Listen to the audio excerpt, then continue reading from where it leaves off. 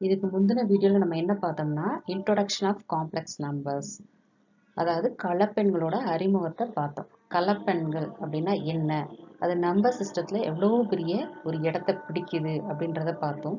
அடுத்து அதோட imaginary unit ஐ அப்படின்றதையும் பார்த்தோம். அது எப்படி வந்துச்சுன்றதையும் நம்ம பார்த்தோம்.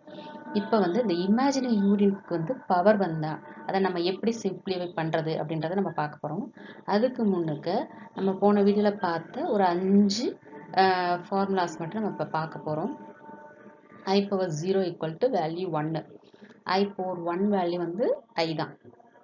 ஐ ஸ்கொயர் வேல்யூ வந்து minus one i cube value வந்து minus i i power four value வந்து ஒன் இதை மட்டும் நீங்கள் ஞாபகம் வச்சுக்கிட்டாலே போதும். ஐ பவரில் எவ்வளோ பெரிய நம்பர் கொடுத்தாலும் நம்ம ஈஸியாக சால்வ் பண்ணி ஆன்சர் கண்டுபிடிச்சிடலாம். இப்போ வாங்க ஃபர்ஸ்ட் கொஷின் பார்க்கலாம். Example two point one simplify the following first question i power seven இது சின்ன நம்பர் தான். நம்ம இது ஈஸியாக பிரிச்சிடலாம். ஐ பவர் செவனை நம்ம எப்படி பிரிக்கலாம்னா ஐ பவர் ஃபோர் ப்ளஸ் த்ரீன்னு பிரிக்கலாம் ஏன் ஃபோர் ப்ளஸ் த்ரீ அப்படின்னு பிரிக்கிறோம்னா ஐ பவர் ஃபோர் வேல்யூ வந்து நம்மளுக்கு தெரியும். ஐ பவர் ஃபோர் வேல்யூ வந்து ஒன்று அப்படின்றது நம்மளுக்கு தெரியும். அதனால நம்மளுக்கு ஈஸி ஆன்சர் கண்டுபிடிக்கிறதுக்காக ஐ பவர் ஃபோர் ப்ளஸ் த்ரீன்னு பிரிக்கிறோம். இப்போ இந்த i power four plus three எப்படி எழுதலாம்? I power four into i cube அப்படின்ட்டு நம்ம எழுதலாம். ஐ பவர் ஃபோர் வேல்யூ வந்து ஆட்டோமேட்டிக்காக ஒன் ஆயிடும் ஸோ நம்மளுக்கு என்ன மட்டும்தான் மீதி இருக்கும். ஐ கியூப் மட்டும்தான் இருக்கும். ஸோ இந்த ஐ கியூப் வேல்யூ என்னது? Minus i so first question முடிஞ்சு. செகண்ட் கொஷின் பாருங்கள் i power one thousand seven hundred and twenty nine அப்படின்றது இதில் வந்து எவ்வளோ பெரிய நம்பர் வேணால் கொடுக்கட்டும். Three digit four digit five digit என்னன்னாலும் கொடுக்கட்டும். நம்மளுக்கு தேவையான இந்த லாஸ்ட் டூ டிஜிட் மட்டும்தான். இங்கே last two digit twenty nine இந்த டுவெண்ட்டி நைன் வந்து ஃபோரால் டிவைட் பண்ண முடியுதான்னு பாருங்கள் டிவைட் பண்ண முடிஞ்சு ஃபுல்லு டிவைட் ஆகுதா? இல்லை ரிமைண்டர் எதுவும் வருதான்னு பாருங்கள் இப்போ இப்போ இதை நீங்கள் பார்த்தீங்கன்னா twenty eight seven fours of twenty eight அப்போ thousand and seven hundred twenty eight அப்படின்னு பிரிச்சுக்கோங்க. அந்த மீதி இருக்க ரிமைண்டரை தனியாக போட்டுருங்க. அப்போ ஹை பவர் ஒன் அதாவது எப்படி பிரிக்கலாம்னா thousand seven hundred and twenty eight plus ஒன்னு பிரிக்கிறோம். அதை பிரித்து எழுதும்போது i power thousand and seven hundred twenty eight into i power one இப்போ இதோட வேல்யூ என்ன ஆகுதுன்னா நம்மளுக்கு வந்து ஒன் ஆயிரும்.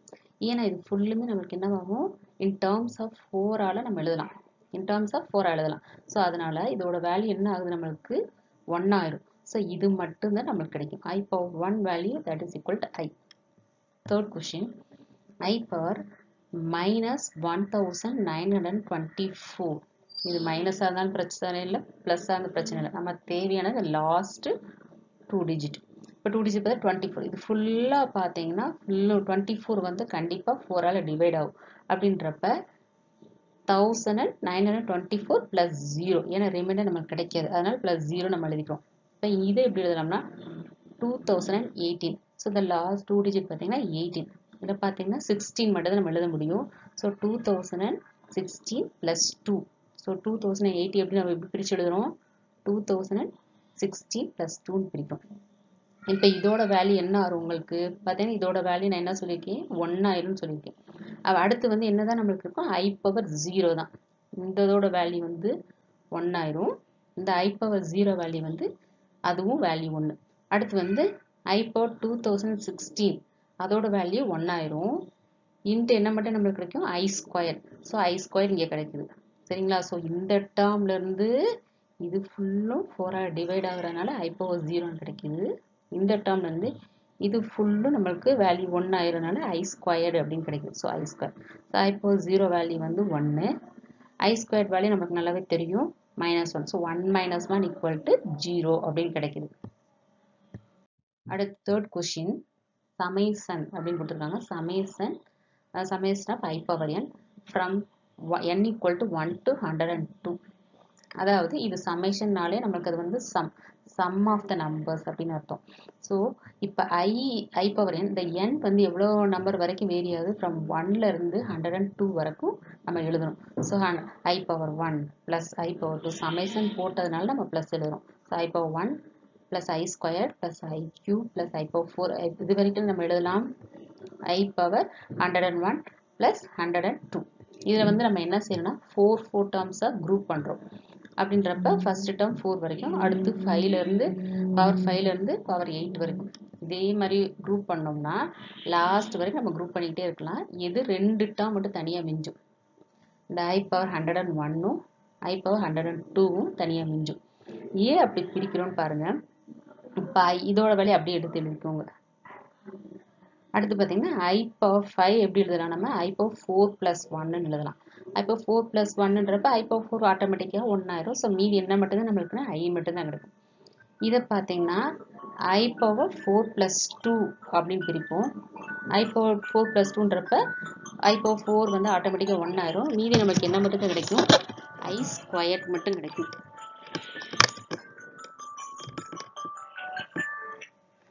அடுத்த பார்த்தீங்கன்னா i power seven i power செவனை நம்ம எப்படி பிரிக்கலாம்?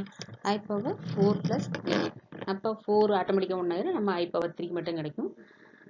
அதே மாதிரி இதுக்கும் பார்த்தீங்கன்னா i power four plus four அதையும் போட்டிங்கன்னா நம்மளுக்கு எப்படி கிடைக்கும்? ஐ பவர் ஃபோர் வந்து எதாயிரும் நம்மளுக்கு ஒன்றாயிரும் இந்த மீதி ஐ பவர் ஃபோர் நம்ம அப்படியே எடுத்துக்கிறோம். இதே மாதிரி நம்ம ஒவ்வொரு டேர்மையும் நம்ம பிரிக்கும் போது இதே ரிப்பீட்டட் வேல்யூஸ் தான் நம்மளுக்கு கிடைக்கும். ஸோ போட்டு வச்சுக்கலாம். அடுத்து ஐ பவர் ஹண்ட்ரட் அண்ட் ஒன்னை எப்படி பிரிக்கணும்னு பாருங்கள் ஐ ஹண்ட்ரட் அண்ட் ஒன்னை எப்படி பிரிக்கணும் i power hundred plus one அப்போ இந்த ஹண்ட்ரட் வந்து நமக்கு டிவைட் டிவைடட் பை ஃபோர் அப்போ இதோட வேல்யூ என்ன? நம்மளுக்கு ஆயிரும். ஒன் ஆயிரும். ஸோ மீதி என்ன தான் கிடைக்கும்? ஐ பவர் ஒன் அடுத்து பார்த்தீங்கன்னா i power hundred and two இதை நீங்கள் எப்படி பிரிக்கலாம்? I power hundred plus two இப்போ இந்த ஹண்ட்ரட் வந்து டிவைடட் பை ஃபோர் ஸோ இதோட வேல்யூ வந்து ஒன் ஆயிரும். ஸோ மீதி நம்மளுக்கு என்ன கிடைக்குது? ஐ ஸ்கொயர் ஸோ அதுதான் இங்கே வந்து hundred and one pole i one i power one போட்டிருக்காங்க. ப்ளஸ் ஹண்ட்ரட் அண்ட் டூ போல் ப்ளஸ் ஐ ஸ்கொயர் போட்டிருக்காங்க. இப்போ இதோட வேல்யூ பார்த்தீங்கன்னா ஐ பவர் ஒன் வந்து ஐ தான். ஐ ஸ்கொயர் வேல்யூ வந்து மைனஸ் ஒன் ஐ கியூப் வந்து minus i i power four வந்து ஒன் ஸோ இதோட வேல்யூ எழுதிக்கிட்டு அதே மாதிரி ஒவ்வொன்றுக்கும் அதே வேல்யூ தான் ரிப்பீட் ஆகும். ஸோ இங்கே வந்து ஐ அப்படியே வரும். ஐ ஸ்கொயர் வேல்யூ வந்து மைனஸ் ஒன் இப்போ இந்த வேல்யூ மட்டும் நீங்கள் பார்த்தீங்கனாலே ப்ளஸ் ஐ மைனஸ் ஐ வருது minus one plus one so இந்த வேல்யூ பார்த்துட்டிங்களா உங்களுக்கு என்ன கிடைக்கும்? ஜீரோ அப்போ எல்லாமே இந்த குரூப்பாக நம்ம போ குரூப்பாக பண்ணியிருக்கோம் பார்த்தீங்களா ஃபோர் ஃபோர் டேர்ம்ஸாக குரூப் பண்ணியிருக்கோம் பார்த்தீங்களா அது எல்லாமே ஜீரோ ஆயிரும். ஸோ நம்மளுக்கு மீதி என்ன தான் கிடைக்கும் ஐயும் இந்த மைனஸ் ஒன்று தான் கிடைக்கும். ஸோ என்ன கிடைக்குது? I minus one so minus one plus i what is this number அப்படின்னு கேட்டிருக்காங்க. இது வந்து என்னது? நம்மளுக்கு காம்ப்ளெக்ஸ் நம்பர் ஒரு ரியல் பார்ட்டோட ஒரு இமேஜினரி பார்ட்டோட கிடைக்கும். அதனால இது வந்து காம்ப்ளெக்ஸ் நம்பர் அடுத்து ஃபிஃப்த் கொஸ்டின் பார்த்தீங்கன்னா இப்போ இங்கே சமேஷனில் கொடுத்ததை இங்கே வந்து மல்டிப்ளிகேஷன் கொடுத்துருக்காங்க. I power one into i square into i cube etcetera i power forty இதை வந்து பேஸ் எல்லாம் சேமாக இருக்கிறதுனால இதை from one to fifty sorry one அப்போ இது வந்து நம்ம பேஸ் ஒன்றா இருக்கிறதுனால மேலே இருக்க பவர்ஸ் எல்லாம் ஆட் ஆயிரும். So i power one plus two plus etcetera forty இதுக்கு ஒரு ஃபார்முலா நம்ம யூஸ் பண்ணுறோம் one plus two plus etcetera plus n வரைக்கும் இருக்க நேச்சுரல் நம்பர்ஸை நம்ம எப்படி ஆட் பண்ணலாம்? என்ன ஃபார்மில் யூஸ் பண்ணி ஆட் பண்ணலாம்? N into n plus one by two இப்போ இங்கே என்ன இருக்க இடத்துல இங்கே என்ன இருக்குன்னா ஃபார்ட்டி இருக்குது so i power forty into forty plus one by two அதான் இங்கே சப்ஸ்டியூட் பண்ணியிருக்காங்க forty into forty forty one plus forty into forty one by two போடும்போது நம்மளுக்கு எயிட் ஹண்ட்ரட் டுவெண்ட்டின்னு கிடைக்குது. அது வந்து நம்மளுக்கு ஃபுல்லாக ஃபோரால் தான் டிவைட் ஆகும். பார்த்தீங்கன்னா லாஸ்ட் டூ டிஜிட் பார்த்தீங்கன்னா டுவெண்ட்டி இது வந்து ஃபோரால் டிவைட் ஆகிறதுனால எயிட் டுவெண்ட்டி வந்து ஃபுல்லாக ஃபோரால் டிவைட் ஆகிறதுனால இது என்ன? இதோட வேல்யூ என்ன? நம்மளுக்கு என்னன்னு கிடைக்கும்? ஒன்றுன்னு கிடைக்குது. ஸோ இதுதான் ஆன்சர் ஸோ எப்படியுமே நம்மளுக்கு ஐப்போ ஃபோர் அதாவது ஒரு நம்பர் ஐயில் வந்து என்ன பவர் கொடுத்தாலும் அந்த லாஸ்ட் டூ டிஜிட்டை எடுத்துக்கோங்க. அந்த லாஸ்ட் டூ டிஜிட் வந்து டிவிசில் பை ஃபோராக இருக்கா இல்லையான்னு பாருங்கள் இப்போ டிவிசல் பை ஃபோராக இருந்தால் அதோட வேல்யூ வந்து ஒன்று சப்போஸ் டிவிசில் பை ஃபோராக இல்லைன்னா அந்த ரிமைண்டரை தனியாக பிரிச்சுருங்க. பிரிச்சுட்டு அதுக்கு வந்து நீங்கள் வேல்யூ கண்டுபிடிங்க. அவ்வளோதான் ரொம்ப ஈஸியாக நம்ம அழகாக கண்டுபிடிச்சிடலாம்.